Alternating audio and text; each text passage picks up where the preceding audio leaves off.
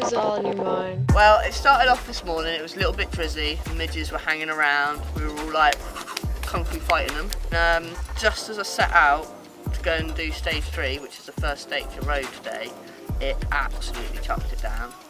But luckily, once I finished stage three, it stopped and went back to that really lovely drizzle.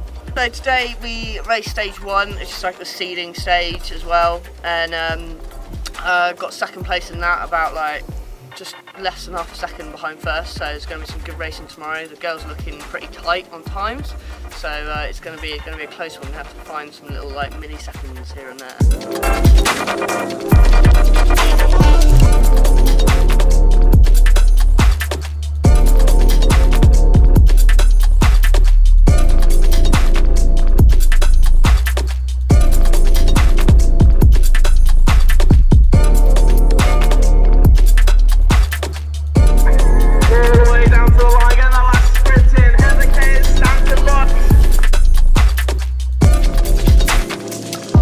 I have had an amazing day. Pretty tired, but you just got to give give your all, and um, came through and took the win. So I um, won the women's category, and um, also I got the biggest winning margin of the day, and uh, really really good on the bike, really really comfy. It was such a good day. I like loved it.